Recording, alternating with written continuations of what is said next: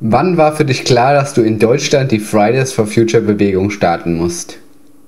Ich habe die Fridays for Future Bewegung nicht so richtig gestartet, waren ja ganz viele. Für mich war klar, dass ich Klimastreiks in Deutschland organisieren möchte, als ich bei der Klimakonferenz war in Polen im Dezember 2018 und da mit Greta gestreikt habe und gesehen habe, dass da so viel schief läuft. Und genau, dann habe ich in Berlin den Klimastreik organisiert und dann kamen aber ganz viele dazu, die gesagt haben, wir machen es in unserer Stadt und deswegen Siehst du dich als Vorbild für weitere Umweltaktivisten oder eher als eine von Millionen Aktivistinnen im Bereich des Klimaschutzes? Ich finde Vorbild ist ein ganz schwieriges Wort. Ich bin eine von ganz, ganz vielen. Ähm, und vielleicht, das sagen mir zumindest manche, das ist irgendwie inspirieren, Menschen wie mich zu sehen, die irgendwie was organisieren. Das fand ich früher ab und oder finde ich auch immer noch inspirierend, andere zu sehen. Und ich glaube, da gibt es eine schöne Wechselwirkung. Was gibt dir die Kraft, dich vor die Schüler zu stellen und eine Rede zu halten?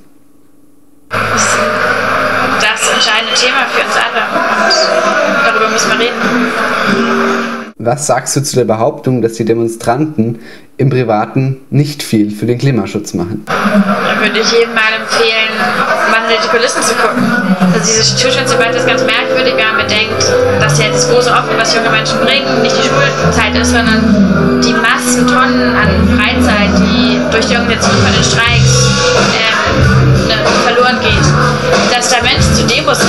die jetzt auch nicht die großen Schulfans sind, das ist ja eine andere Sache, aber der schönste Will, der schönste Schule, dann braucht man keinen Klimastreik. Du warst nun schon öfters mit Greta zusammen. Ist sie für dich ein Vorbild?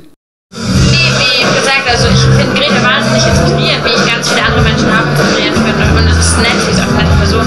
Nun bist du auch bei der Grünen Jugend sowie der Partei Die Grünen aktiv. Könntest du dir vorstellen, einmal richtig in die Politik einzusteigen? Nee, ich bin nicht in der Partei aktiv in dem Sinne. Ähm,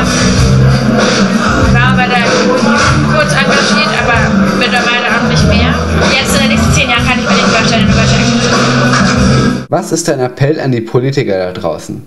Bricht den IPCC-Report und dann legt los.